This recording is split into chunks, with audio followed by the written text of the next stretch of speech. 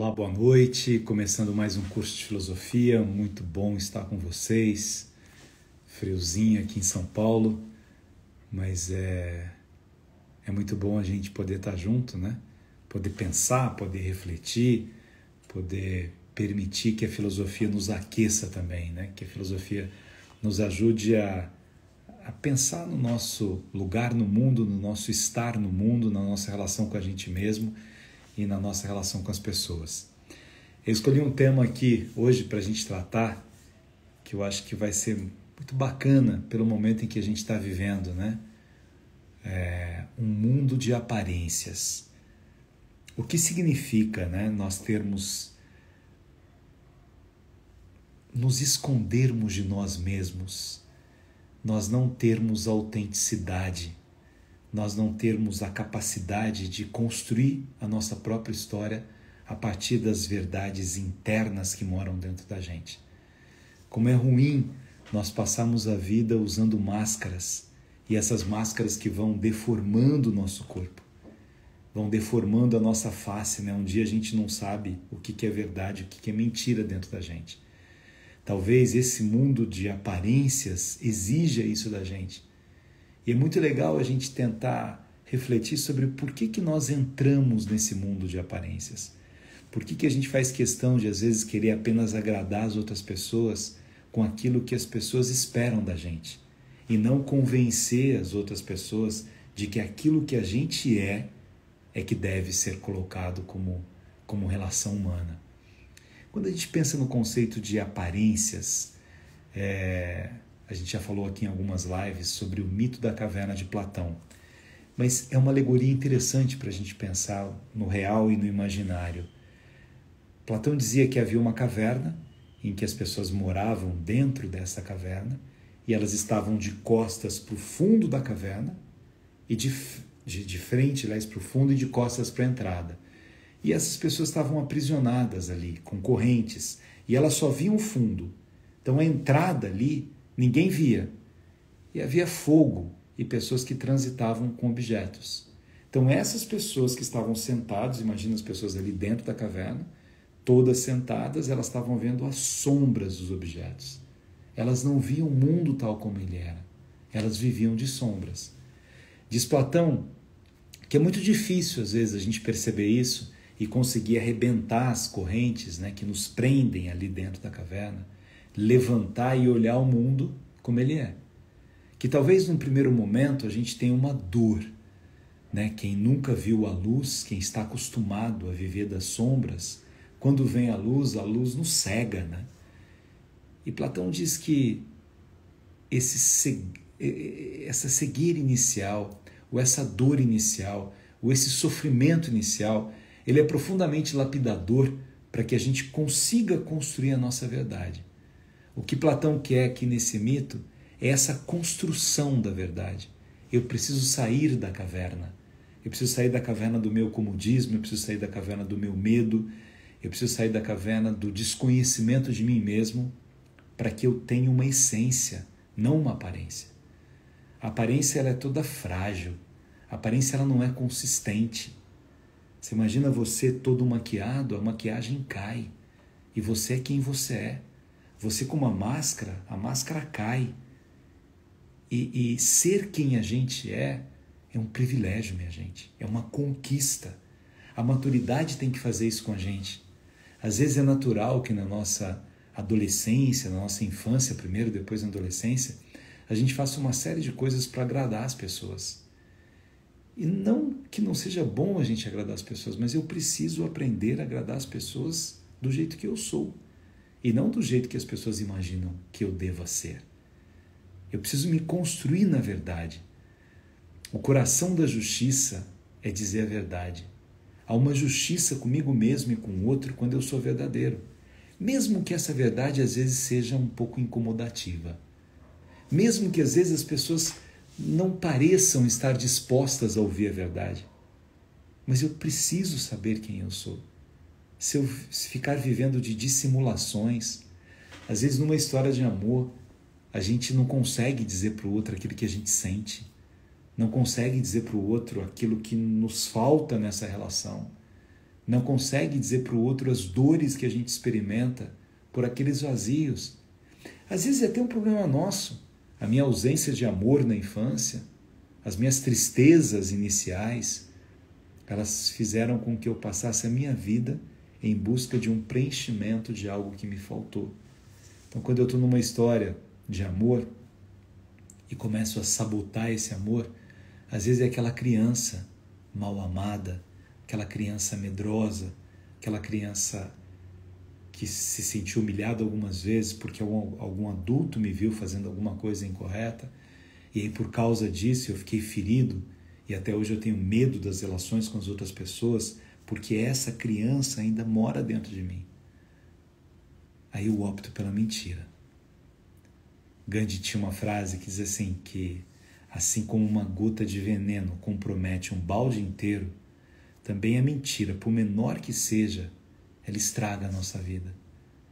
Como é libertador quando você deixa a mentira de lado, deixa as aparências de lado e começa a ser quem você é. Como é libertador quando você olha nos olhos do seu pai, nos olhos da sua mãe, nos olhos do seu amor, nos olhos dos seus amigos, quando você constrói a sua vida a partir das verdades que você acredita. Quando você não precisa mentir no trabalho em que você está. Quantas pessoas passam uma vida errática no trabalho, inventando uma série de coisas para que possam ser valorizadas, né? Ah, mas às vezes não é bom a gente aumentar um pouquinho as coisas, não é um marketing pessoal. O marketing pessoal não se baseia em mentiras. Se eu contar um monte de coisa para o lugar em que eu vou trabalhar e que for mentira, eles vão descobrir isso depois. Talvez, minha gente, aqui vai, vai uma, uma questão profunda das mentiras da infância. Por que, que a gente aprendeu a mentir quando a gente era criança? Para ser amado, talvez. De repente, né? Meu pai queria que eu tirasse 10 em tudo. E como eu não tirava 10 em tudo, mas ele queria que eu tirasse, eu chegava em casa e dizia que eu tirei 10. E aí? Quanto você tirou, filho? 10. Tá vendo? Meu filho só tira 10. E meu pai não faz mal. Meu pai não era assim, estou dando um exemplo de um pai. Mas um pai não faz isso por mal. Mas aí essa criança aprende a mentir. Aprende a mentir para se sentir amada. A criança aprende a mentir às vezes na escola e cria uma história, né? E aí vai a criança na escola e conta que ela é adotada, por exemplo. E ela conta isso assim porque quer que a professora goste dela, ou que preste atenção na história dela. E a professora abraça e fala: Que maravilha, você foi gerada no coração, tal, tal. E aí comenta um dia com os pais, né? Ah, sua filha falou na escola. Não, mas ela não é adotada. Mas por que, que ela contou essa história então? Aí uma criança vai e conta que tem uma doença. Ou um jovem, né? Uma pessoa na faculdade, às vezes, para deixar o professor comovido com aquilo. Falou assim: não sei, eu tenho tido uma coisa no estômago, eu não sei o que pode acontecer comigo. E por que, que ele mente? Eu, eu, queria que a gente refletisse as aparências aqui não como uma ausência de caráter, porque senão a gente transforma isso no maniqueísmo entre bem e mal. Essas pessoas que mentem, que vivem de aparências, não são pessoas que optaram pelo mal, mas são pessoas que têm uma fragilidade imensa e precisam contar histórias mentirosas e reais para se sentirem amadas com outras pessoas. Então eu venho aqui né, e falo assim: não, fui dar uma palestra em tal lugar e aí foi tão incrível que eu fui aplaudido por 10 minutos pelas pessoas que estavam lá. E é mentira. Primeiro que ninguém fica aplaudindo 10 minutos, né? Mas por que, que eu precisei falar isso? Porque eu achei que se eu contasse sua história e não aumentasse a história, vocês não ficariam orgulhosos de mim. E como a minha carência é tão grande que eu preciso chamar atenção, eu tenho que aumentar nas minhas histórias, exagerar nelas. Quantas vezes tem alguém contando alguma coisa, um problema seu, e o outro fala um problema maior do que aquele que estava dizendo, porque todo mundo está prestando atenção naquele outro lá, que está dizendo que um dia foi assaltado, assim, estava saindo de casa. Ah, você, precisa, você não precisa saber o que aconteceu comigo. O meu assalto foi muito pior. E às vezes eu crio alguma coisa. Eu crio alguma coisa por uma carência que há dentro de mim, para que aquelas pessoas olhem para aquilo que eu estou fazendo. É tão interessante que, quando, voltando ao tema da infância, quando a gente pensa às vezes, né, no ensinamento dos pais, às vezes os pais, né, batem num filho, né, o filho foi lá e, e mentiu, e aí o pai dá uma surra no filho para aprender a não mentir. Então ele, pai, acha que batendo no filho, ele está educando o filho para aquilo que é correto e você vai aprender a não mentir. Primeiro que ninguém aprende apanhando. Depois que esse filho que apanhou do pai porque mentiu, ele olha para o pai e fica lembrando a quantidade de vezes que ele percebeu que o pai mentiu. Então não é o pai batendo que vai ajudar o filho a não ser mentiroso, a não viver das aparências. É o pai sendo verdadeiro. Os exemplos falam muito mais fortes do que as palavras, né? Os exemplos convencem muito mais. O mundo, minha gente, vai criando uma série de mitos e a gente entra nesses mitos, né? Um dos mitos é, comuns de, de várias culturas é o mito do herói. A gente tem isso desde a mitologia grega, romana, nórdica. Tem, sempre tem alguma história de herói, de super-heróis. E aí eu acho que eu tenho que ser um herói. Isso já é um outro desenvolvimento da minha aparência. Eu preciso aparentar uma coisa que eu não sou, que eu não tenho. E quando eu tento mostrar isso para as pessoas, eu escondo de fato quem eu sou, os medos que eu tenho. Junto com o mito do herói, vem aquelas construções absolutamente incorretas dos pais dizendo para um filho homem, por exemplo: homem não chora, não seja fraco, não seja assim. Olha o seu pai, olha como eu sou forte, eu aguento a dor, eu aguento os problemas. Você, qualquer coisa, fica chorando, você não é mais criança.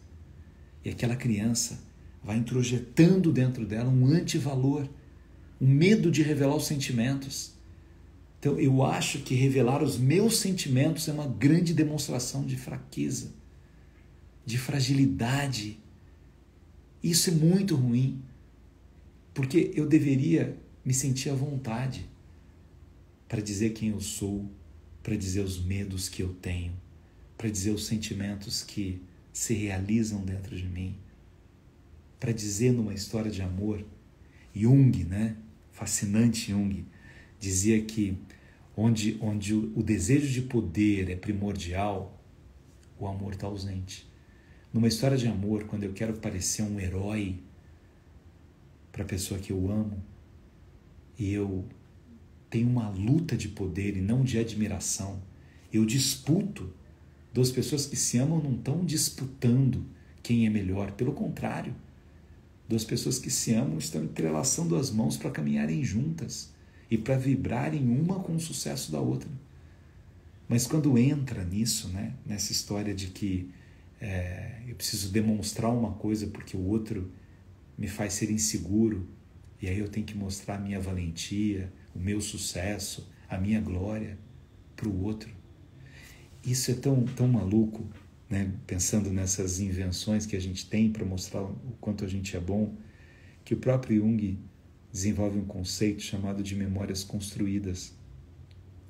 Eu minto tanto, eu conto tantas histórias mentirosas da minha vida para ser amado, que de repente eu faço uma confusão daquilo que é verdade, daquilo que é mentira. Eu começo a, dentro de mim mesmo, não saber mais o que aconteceu, de tanto que eu menti. Imagina que eu vou dizer que alguém que eu amava me abandonou. Então eu conto a história de que eu não quis mais. Eu abandonei. Eu cheguei, olhei e aí disse assim: olha, comigo é assim. E aí conta uma história toda mentirosa. E eu fui abandonado, não fui eu que abandonei. E qual é o problema de ser abandonado? Qual é o problema de alguém chegar para mim e falar não quero mais? Conheci uma outra pessoa, me desculpa.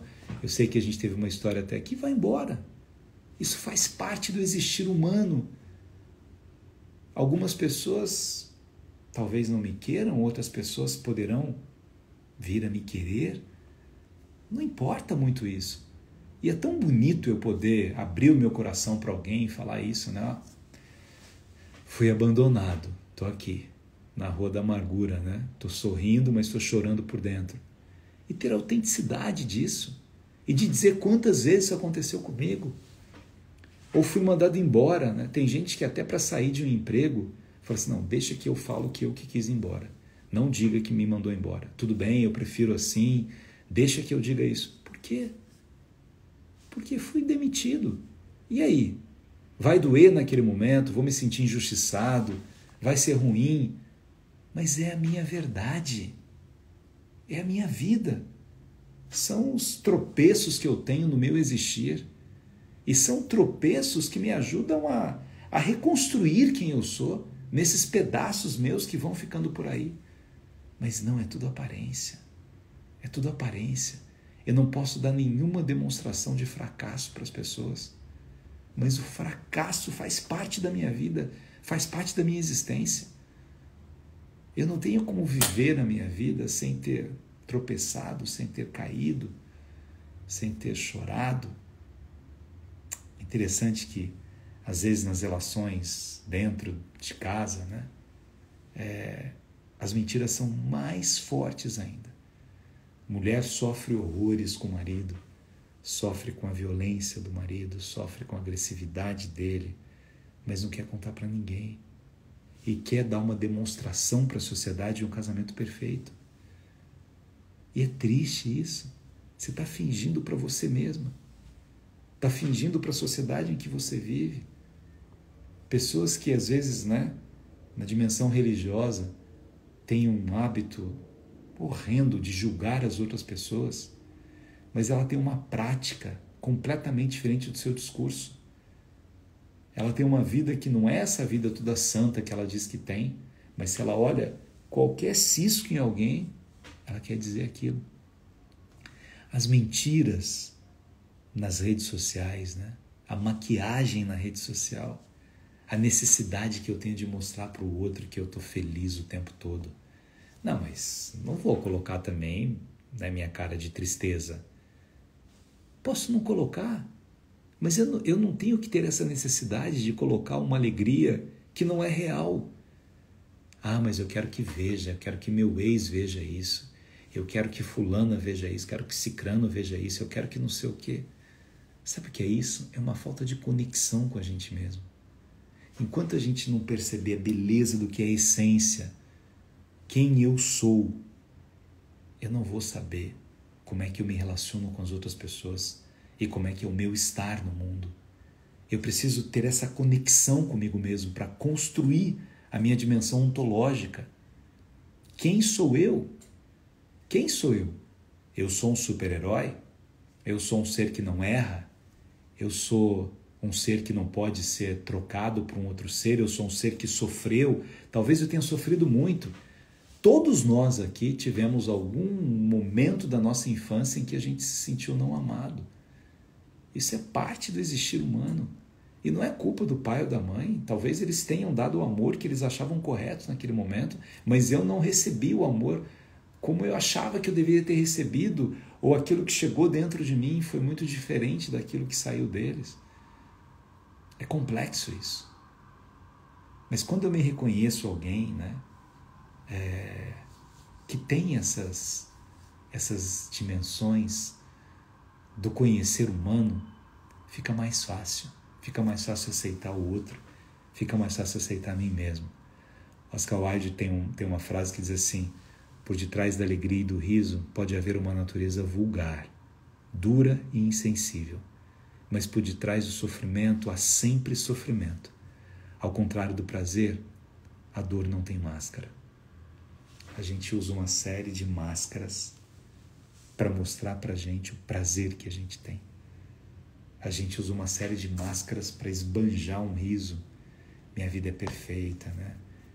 eu mostrando a mim mesmo com os sucessos que eu tenho, com as glórias que eu tenho. Talvez a gente precise gastar um pouco mais de tempo com a gente mesmo, para ao perceber a nossa essência, fazer com que a nossa revelação aos outros seja uma maiútica, seja um nascimento da nossa essência, daquilo que a gente é. Escolhi aqui uma citação e uma música do Cazuza para a gente falar sobre isso Olha que bonito aqui. Cantando, diz ele, a gente inventa. Inventa um romance, uma saudade, uma mentira. Cantando, a gente faz história. Foi gritando que eu aprendi a cantar, sem nenhum pudor, sem pecado. Canto para espantar os demônios, para juntar os amigos. para sentir o mundo, para seduzir a vida. Aqui o Cazuza está brincando com outro conceito do canto como uma invenção que a gente tem para viver melhor no mundo e do canto como uma expressão de um amor que não necessariamente é uma verdade, é um canto. Aí vem um trechinho da letra da música dele. O teu amor é uma mentira que a minha vaidade quer, e o meu, poesia de cego, você não pode ver. Não pode ver que no meu mundo um troço qualquer morreu, num corte lento e profundo entre você e eu. O nosso amor a gente inventa para se distrair. E quando acaba, a gente pensa que ele nunca existiu. Na dimensão da arte, tem uma coisa belíssima que é o imaginário, em que eu posso, ao ouvir os sentimentos de outras pessoas, ao cotejar o sentimento de outras pessoas com os meus sentimentos, fazer nascer poemas, fazer nascer canções, fazer nascer textos, fazer nascer crônicas, literatura. Isso é uma dimensão da arte. Isso não é uma aparência. Isso é um, é um mundo fascinante que nasce da gente, que tem uma autenticidade no dizer essas coisas, no viver essas coisas. O artista, ele tem uma conexão com algo de sagrado, de sobrenatural. Alguém que tem a consciência do seu ofício quando está escrevendo, quando está cantando, quando está interpretando, quando está dançando, quando está esculpindo. Ele tem uma conexão com o sobrenatural que ele faz com que as emoções sejam compartilhadas com as pessoas que estão ali, participando dessa arte, vivendo essa arte. Isso não é uma mentira. Quando o artista ele representa uma personagem, ele não está mentindo ele está dando vida a personagens diferentes. Quando o escritor escreve, né? É tão interessante que às vezes quando eu faço as crônicas, às vezes assim, né? É, vou ser pai. E é uma crônica, é uma invenção, é uma ficção. Ou frases, né? História de dor, de amor. Né? Aí algum amigo às vezes vê, fala assim, nossa, mas você não me contou isso, o que está acontecendo? Tal. Não, não sou eu. É uma, é um, a gente empresta quem a gente é para que a arte possa acontecer, para que ela possa iluminar. Clarice Lispector também tem uma frase linda, já que a gente está falando de arte, de sensibilidade. Clarice diz assim: Cansei de me sentir sozinha, cansei de tanta mentira, cansei dos dias iguais, da rotina, cansei de mim e de me deixar sempre em última opção. Cansei de procurar meus amigos, cansei de mentir para mim para ver se dói menos Cansei de me preocupar com quem não se preocupa comigo. Cansei de sofrer e de acordar indisposta. Cansei de sentir o coração bater mais forte, com uma sensação de arrependimento, de erro. Cansei de tudo. Aqui não é uma personagem de Clarice, é Clarice compartilhando isso que ela sentia. É tão interessante que às vezes a gente olha algumas pessoas, né, que que tem sucesso, né? Clarice teve sucesso como, como escritora em vida, mas ela se sentia no direito de compartilhar a dor que ela sentia. Cansei. Cansei de ter que agradar as pessoas, cansei de ter que provar que uma mulher, a Lígia, né? Minha amada Lígia, dizia que a Clarice dizia para ela: Liginha, a gente não pode nem sorrir, porque não levam a sério uma escritora por ser mulher. Imagina uma mulher que dá um sorriso. Cansei disso, dizia ela. Quantas pessoas têm, tem uma série da Marilyn, é, um documentário, aliás, mostrando o sofrimento dessa mulher que todo mundo imaginava aquela mulher mais desejada do mundo na época. Mas ela também viveu de aparências. A Marilyn foi viveu em, em abrigo, foi adotada várias vezes, foi devolvida. E aí ela foi usada por muitos homens depois. E ela se colocava assim, com toda aquela beleza. Então não é uma questão de beleza, não é uma questão de dinheiro. Calas tinha dinheiro, tinha beleza, tinha fama. Era a cantora mais famosa do mundo na época. E permitiu que um homem destruísse com ela. E ela nem cantar conseguia mais, por aquela dor de amor, ou por aquela autorização que não é racional, que eu não sei de onde vem, mas que eu dou autorização para que alguém me transforme num nada. E aí eu vivo das aparências. Eu tenho que mostrar para todo mundo que está tudo bem. Não, eu não preciso mostrar que está tudo bem. Eu acho, minha gente, que esse é um, é um esforço que a gente tem que fazer. Eu, eu falo isso, agora, agora sou eu, não ficção, mas eu tenho, eu tenho um valor dentro de mim.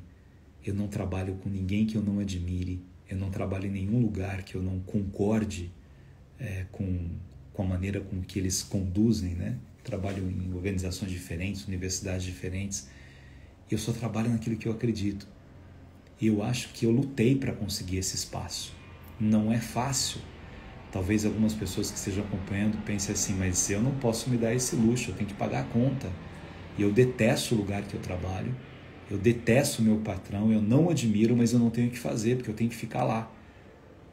Eu sei, eu sei que muita gente passa por essa dificuldade e não conseguiu ainda construir a sua trajetória de tal ordem que você possa fazer escolhas.